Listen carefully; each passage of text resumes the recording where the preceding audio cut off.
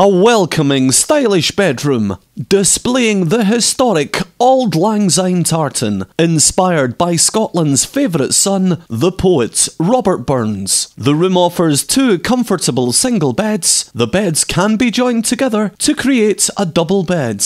Bedside cabinets provide storage, and the bedroom also has seating, a large wardrobe, relaxing working area, telephone, a 40 inch flat screen TV, and hot drinks making facilities. You'll also enjoy internet access with free Wi Fi. The bathroom has a wonderful modern style with fashionable shower area, sink, and WC. Enjoy the history and the charm of Clan Burns in room 311 at the Argyll Hotel, Glasgow.